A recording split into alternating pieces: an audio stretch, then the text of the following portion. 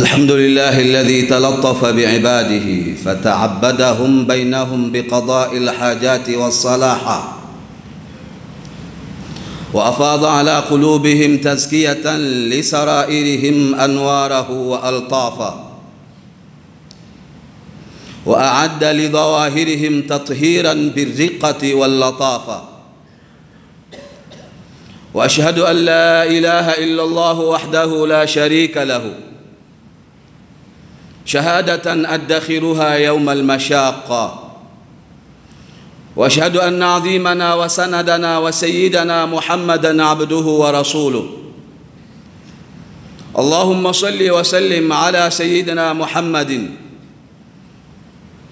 المستغرق بنور الهدى أطراف العالم واكنافه وعلى آله وأصحابه الطيبين الطاهرين. صلاه تنجينا بركاتها يوم المخافه اما بعد فيا عباد الله اوصيكم ونفسي بتقوى الله khutba yetu ya leo itakuwa inazungumzia faida ya mambo sita yanayopatikana katika kutatua haja za mwenzako faida ya mambo sita ambayo kwamba yanayopatikana katika kutatua haja changamoto shida matatizo ya mwenzako. Madamu ni binadamu na binadamu wote ni ndugu. Baba yetu adam mama yetu hawa. Mwenyezi mungu subhanahu wa taala ametuumba katika huu ulimwengu ili tuishi kupitia maamrisho yake na makatazo yake.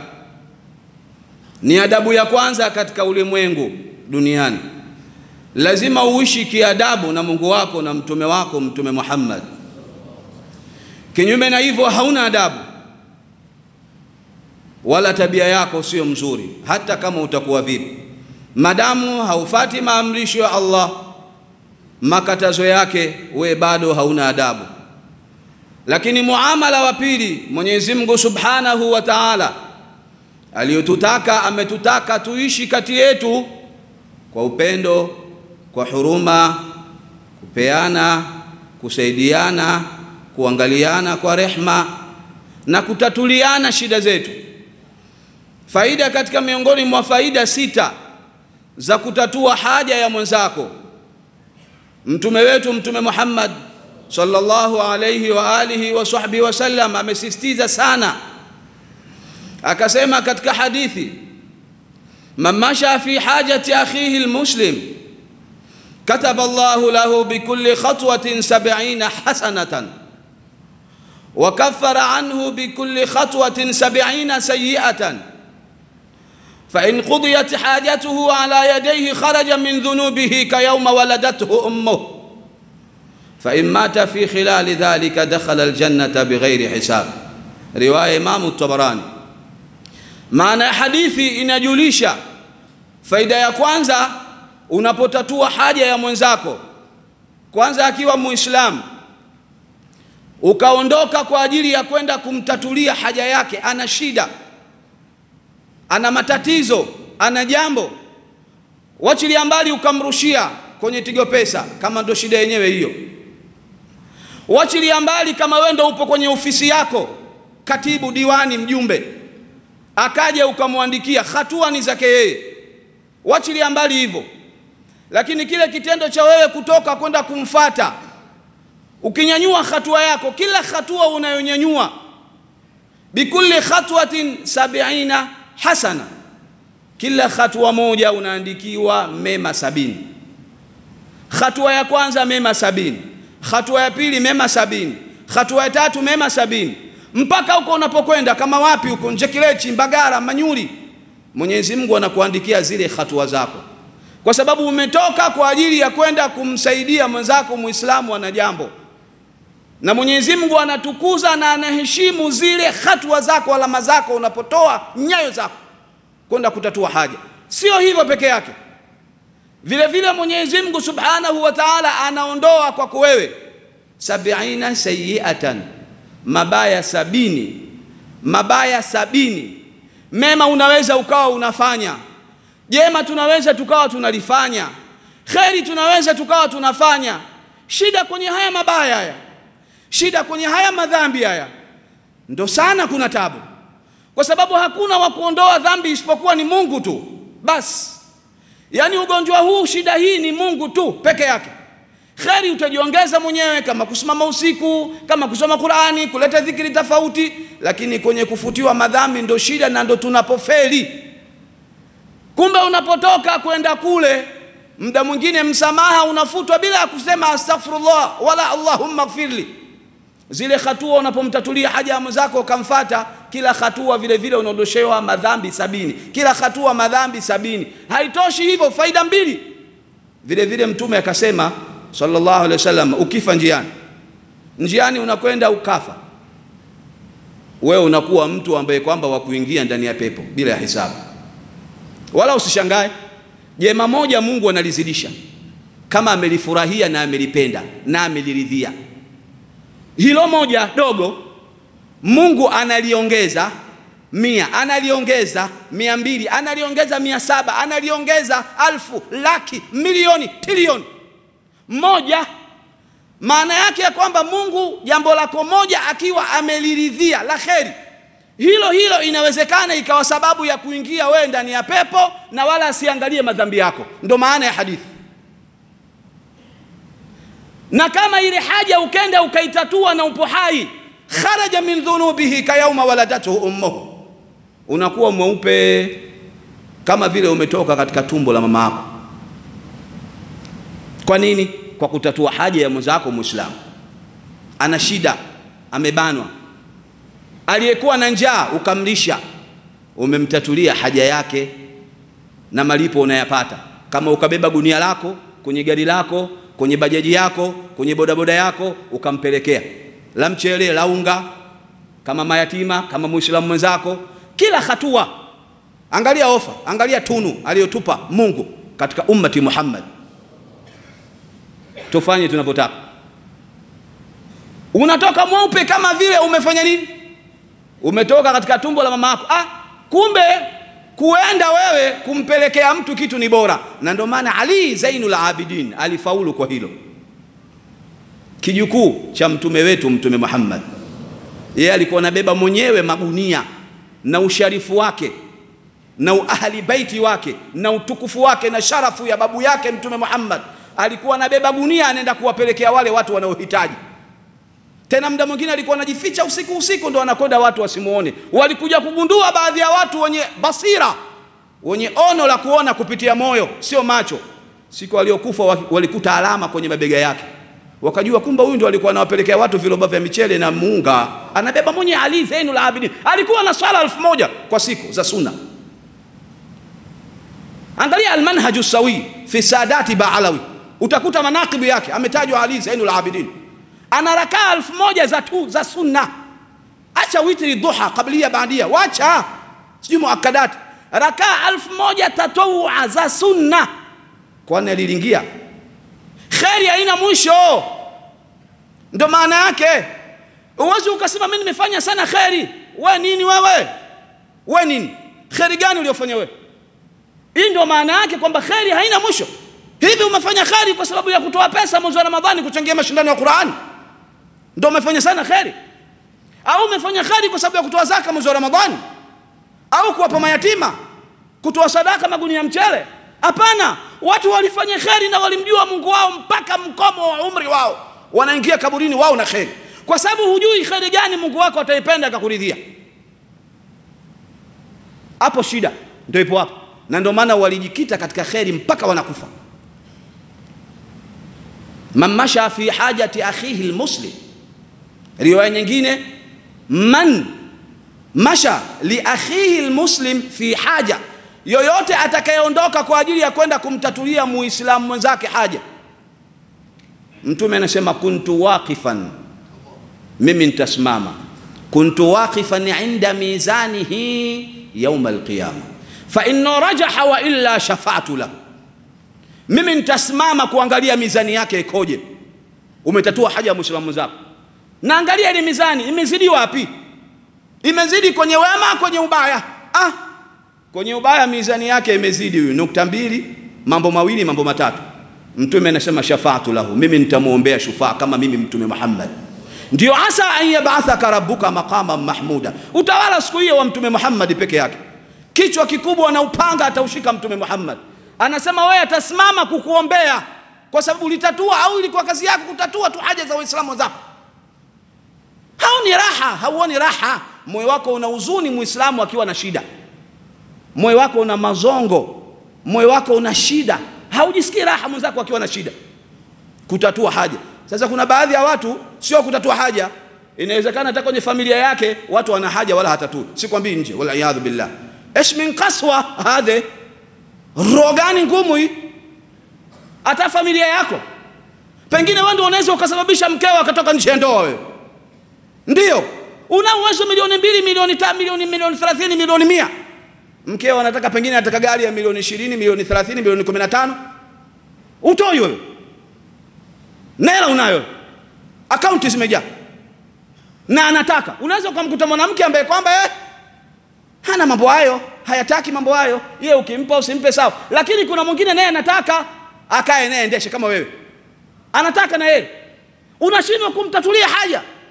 Sasa mwisho wa siku anapigiwa masimu nje, anatumiwa mameseji kwenye simu, watu wanamwahidi kadha, wanamwahidi kadha, wanamwahidi kadha, wanamlaghai, wanamchezea. Pengine wao wameshindwa kutatua jambo dogo tu, una mamilioni, unashindwa kutatua haja ya mkeo, jamani, ndani. Na ndio maana hata unaambiwa mbwa, ukiambiwa mbwa sawa, kwa sababu anakuona huna maana. Nje hodari wa kutoa nje hodari wa kuwapa mahawala machenchede, lakini nyumbani kwako, subhana almaliki alqudus, unaambiwa sabuni, unanuna sabuni, una mamilioni. Akikwambia mbwa sawa, mbwa wewe, unakasirika nini sasa? Sasa huu ni katika moja ya mtihani tuliokuwa nao, ule ubakhili wako wa kushindwa kutatua haja kwa nje. Muumini muislamu mwenzako, unakuja maradhi yanaenea, maradhi yanakaa katika moyo mpaka yanaingia ndani kwenye familia yako. Faida tatu tumezungumza. Mtume Muhammad atasimama kukuombea wewe siku ya Kiyama, kama ndio kazi yako kutatua haja za Waislamu wenzako. Thabitul Bannan ni miongoni mwa waliokuwa katika asri moja ya bwana mkubwa Imamu al-Hasan al-Basri radhiyallahu ta'ala anhu. Siku moja aliwatuma wanafunzi wake, nendeni, kuna haja, nendeni, piteni sehemu moja, kuna haja, kapelekeni kitu nendeni kapelekeni mzigo, ngano, mchele, nendeni pelekeni, alafu piteni pale kwa Thabitul Bannan mchukueni na yeye nendeni naye. Wakapitia kwake, wakamkuta yupo msikitini amekaa itikafu. Wakamwambia bwana Thabit eh, Imam al-Hasan al-Basri ametutuma tufatane tukapeleke mizigo hii ya unga ya mchele, kuna mahala hapo. Thabit akasemaje? Akamwambia nendeni, rudini, mwambieni mimi nimekaa itikafu ndani ya msikiti. Wakarudi kwa shekhe wao, wakamwambia amesema yeye amekaa itikafu msikitini, kutoka hawezi kutoka. Akamwambia hivi, mwambieni hivi Thabit ama taalamu anna mashyaka fi hajati akhika almuslimi khairun laka min hajatin ba'da hajja, Mwambieni, mfikisheni ujumbe, nendeni. Wakaenda wakamwambia Thabiti ametuambia, kwani wewe hujui unapotoka kwenda kutatua shida, wewe kama wewe ya muislamu mwenzako ana haja yake, ana jambo lake, wewe haujui kwamba ni bora kuliko kukaa itikafu na kuliko kwenda hija baada ya hija kwa sababu unamtatulia shida muislamu mwenzako, naye ana shida, anataka kula, anataka kunywa, anataka kuvaa, haujui hilo. Akaacha itikafu wa dhahaba bahu na akaondoka nao. Walikuwa hivyo. Kwa nini? Kwa sababu ni muamala wewe na binadamu mwenzako. Hapo nafsi yako ikoje? Na ndio maana ikawa fadhila zake ni kubwa. Kwani hija si yako mwenyewe? Hija lazima uende. Yaani shida katika muamala kati yetu sisi, wewe na binadamu mwenzako na kiumbe mwenzako, nayo ni ibada kutatua haja, kumsaidia, ana dhiki, ana shida. Tambua na ujue kwamba ukiwa na uongozi, ukiwa na nafasi, tenda haki katika uongozi wako na nafasi yako. Jukumu lako kusaidia, saidia. Jukumu lako kuangalia raia, angalia raia, kama wasiuawe, kama wasiuliwe, kama wasikatwe shingo, kama wasitiwe katika viroba, kama wasitupwe baharini. Una jukumu hilo, angalia. Mwenyezi Mungu amekupa nafasi hiyo kwa ajili ya wewe uwasaidie viumbe wenzako. Mwenyezi Mungu Subhanahu wa Ta'ala amekupa uongozi kwa ajili ya wewe uwe karibu na wenzako, sio kwa sababu ya wewe ulete kiburi na jeuri. Dhalika alfadhlu min Allahi wa kafa billahi alima. Mwenyezi Mungu amekupa na anajua hiyo fadhila aliyokupa, na Mwenyezi Mungu anajua kila kitu alichokupa na anajua yale unayoyatenda. Yatosha kwako wewe ni fakhar. Amekupa, wasaidie wenzako. Ukiwa una pesa, usiwe jeuri, usiwe baradhuli, usiwe kiburi, usijidai, usijivune, usijifaharishe. Amekupa Mwenyezi Mungu, wewe hauna chako, wewe hauna chako. Hakuna kauli ya kusema mimi nina degree. Degree amekupa nani? Hakuna kauli ya kusema mimi nina PhD. Amekupa nani? Jitihada ya wewe kutafuta mpaka ukawa na degree amekupa nani hiyo jitihada? Uwezo kuvumilia tabu na shida mpaka ukapata hiyo digrii, nani amekupa uwezo wa kuvumilia hizo tabu na shida? Nani? Ni Allah. Nani? Ni Mwenyezi Mungu. Na akili, akili amekupa nani? Nani kama si Mwenyezi Mungu? Lau Mungu kama angetaka si angekufanya ungekuwa mnyama wewe, au angekufanya kuwa mduru wewe, unatembea katika vyoo au katika majalala. Mwenyezi Mungu amekupa ili uwasaidie watu, sio kwa sababu ya akili yangu na uwezo wangu. Hapana, kitu kama hiko. Na ndio maana wengi Mwenyezi Mungu anawaondoa. Uangalie wanaoshuka na wanaopanda, wengi wepi? Wanaokuwa mafukara na wanaokuwa matajiri, wengi wepi? Utakuta wanaoporomoka kuja chini, matajiri, alikuwa tajiri kashuka chini, wengi jeuri. Mtume anasema katika hadithi, inna lillahi inda aqwamin ni'ama yuqiruha indahum madamu fi hawaiji nnasi ma lam yamallu fa idha mallau naqalaha ila ghairihim. Mtume anasema Mungu kuna watu wamewapa neema, yeye mwenyewe amewapa, hata kama wana sababu zao, sababu pia kawapa yeye. Sasa hizo neema alizowapa Mwenyezi Mungu anaziongeza, hizo neema alizowapa Mwenyezi Mungu anazizidisha, zinakuwa kama utajiri unazidi kuwa tajiri, kama uongozi, Mungu atakutoa nafasi hiyo, atakupeleka nafasi ya juu zaidi. Muda gani? Muda ambao kwamba wanatatua haja na kero za watu na shida za watu malam yamallu, kama hawajachoka kutatua haja zao, kumsaidia mtu. Una pesa, una uwezo, anakuomba kwenye jambo la kheri, msaidie. Malam yamallu, kama hawajachoka. Fa idha mallau, wakichoka na wanavyo na wanacho na wamerundika na wanazo, Mtume anasema nakalaha ila ghairihim, anaondoa anawapa watu wengine.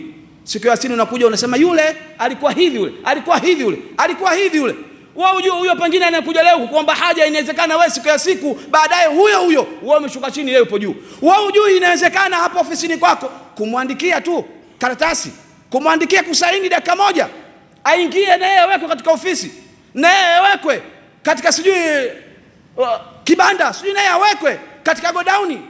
Unashindwa, unamwangaisha mwezi, miezi miwili. Mwingine kama waliyadhu billah, sifa yake mbaya, anaweza akataka hata ngono kwa mwanamke atataka kumchezea mwanamke ili ndio amsainie. Kusaini tu iko wapi? manfaraja Allah man faraja kurbata almuslim faraja Allahu anhu kurbatan min kurabi alakhira. Riwaya nyingine kurbatan min kurabi yaum alqiyama. Ukitatua kero, ukitatua shida ya muislamu mwenzako, Mwenyezi Mungu atatatua kero na shida yako siku ya Kiyama. Kaburini kuna shida, kwenye mauqif ukisimama kuna shida kwenye mizani matendo mema na mabaya kuna shida, kwenye sirat kupita kwenye njia kuna shida. Inawezekana Mwenyezi Mungu akakutatulia shida mojawapo, kwa sababu wewe umemtatua, tena wewe uwezo unao. Mwenyezi Mungu atakuja kutatua kero yako wakati huo wewe huna uwezo, wewe uwezo unao mkubwa. sayiduna Umar ibn al-Khattab radiyallahu ta'ala anhu kana yataahadu al-aramila fayastasqi lahunna bilma'i billayl alikuwa usiku. Saidina Umar ibn Khattab anatoka usiku, anaenda kuwatafuta wale wanawake wajane waseja, hawana wanaume wale, au wanaume wao wamekufa. Anaenda kule, akienda kule anatoka, wako wapi? Anachukua mizigo yake kama ya nguo kama ya nini, anawapelekea. Saidina Umar ibn Khattab anapeleka mwenyewe, wewe sio kupeleka, wewe kuamrisha. Muda mwingine kutatua haja, fanya hivi wewe, unamwamrisha wa chini yako, au fanya kitu fulani, nenda mahala fulani, sio lazima uende mwenyewe. Hiyo daraja kwenda wenyewe hatuwezi na majigambo yako na kiburi chako na jeuri chako na kujivuna kwako. Saidina Umar alikuwa anatoka. Saidina Umar ni wa pili kubashiriwa pepo baada ya Abubakar Siddiq. Angetosheka, angeridhika.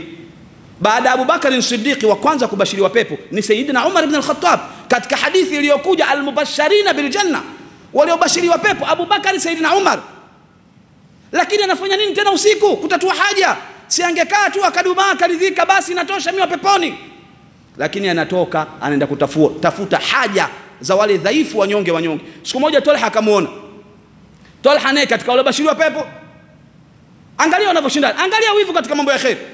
Akamwona anaingia usiku, yeye akasema mimi nitaingia mchana, nijue kuna nini pale, siwezi kuvumilia. Akaingia usiku, Omar akafanya mambo yake kwa kibibi, yeye akaingia mchana. Alipoingia akenda akamuuliza yule bibi, ma yasnau hadha rajulu indaki, huyu anafanya nini kwako? Huyu mtu hajamwambia kama kiongozi wa waumini wala hajamwambia kama amiri almu'minin. Akamwambia huyu anakuja kwangu mimi, lahu mundhu kadha wa kadha yataahaduni bima yuslihu shani wa yukhriju ladha anni wa yuqimu li baiti. Huyu ana muda miaka, huyu anakuja. Umekuja kugundua leo? Angalia ikhlasi za watu, dar miaka, anakuja kugundua baadaye. Watu walikuwa hivyo, walikuwa na ikhlasi, walikuwa na wivu kwenye mambo ya kheri.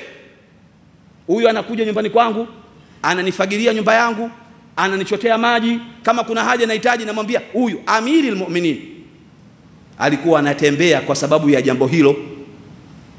Ndo walivyokuwa na watu wa Mungu, wanakuwa hivyo. Maisha yao sio na Mungu tu, ibada tu, aa, kuswali, kufunga, aa, isipokuwa maisha yao vile vile na muamala na wale wenzao Waislamu. man andhara musira man andhara musira au wadaa anhu adallahu Allahu fi dhillihi yawma la dhilla illa dhilluh. Riwaya Imam Ahmad, waqahu Allahu min faihi jahannam Mtu yeyote atakayemwondoshea musira, awe muislamu asiwe muislamu, kwa riwaya hii, jamaa asiwe jamaa, hata kama sio muislamu, ana shida, ana matatizo, ana dhiki, musira, man andhara musira. Au wadhan, au mtu unamdai ukamwambia, bana, tulikubaliana mimi na wewe mkataba, baada ya mwezi unilipe, tulikubaliana baada ya mwaka unilipe, nakuongezea mwaka mwingine, nakuongezea mwezi mwingine, nakuongezea miezi miwili Wallahi, yale masiku uliyoyatoa we kumwongezea kila siku moja ni sadaka kwako. Ule muda uliomwongezea, sikwambii kusamehe ndo kabisa, kule kumwongezea bana, baada ya mwaka utanimalizia deni langu. Kila siku uliomwongezea ni sadaka kwako. Tena sio hivyo, adhallahu llahu fi dhille yauma la dhilla illa dhillu, Mwenyezi Mungu atakuweka katika kivuli alichokiandaa maalum, ulitatua haja za mwenzako Muislam na sio Muislam. Mwenyezi Mungu anakuamrisheni mumswalie mtume wenu Mtume Muhammad, inna Allaha wa malaikatahu yusalluna ala nabi ya ayuha alladhina amanu sallu alayhi wa sallimu taslima اللهم صل وسلم على سيدنا محمد وعلى ال سيدنا محمد وارض اللهم عن خلفته رسول الله سيدنا بكر الصديق وسيدنا عمر بن الخطاب سيدنا عثمان بن عفان سيدنا علي بن ابي طالب اللهم عن بقية الأنشطة الكرام وأزواج نبيك المصطفى وعن أمي حبيبك وسبتويد الإخلاص والصفا وعن الأنصار المهاجرين التابعين لهم بإحسان إلى يوم يبعثون. اللهم اغفر للمؤمنين والمؤمنات والمسلمين والمسلمات الأحياء منهم والأموات. برحمتك من خلقت جميع الأشياء وأمرك بين الكاف والنون عباد الله. إن الله يأمر بالعدل والإحسان وإيتاء ذي القربى عنها الفحشاء المنكر والبغي يعظكم لعلكم تذكرون. اذكروا الله العظيم يذكركم واشكروه على نعمه يزدكم ولذكر الله أكبر.